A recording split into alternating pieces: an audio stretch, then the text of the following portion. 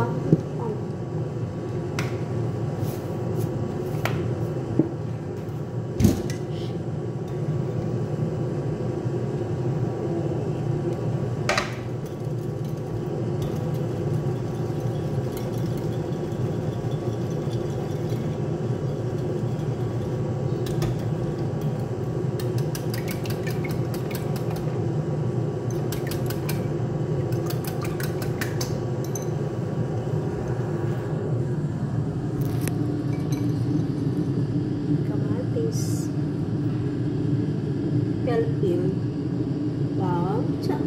Tsaka yung egg. Nainit natin sa buwan.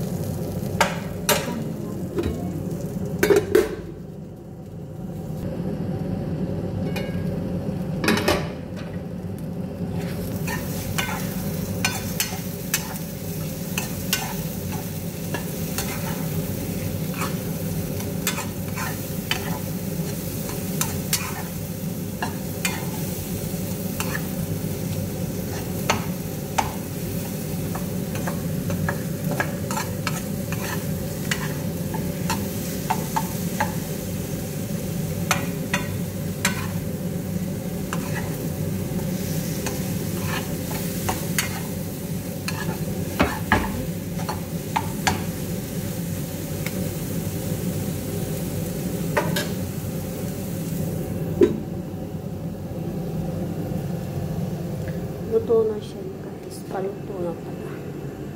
Ipapatay na natin.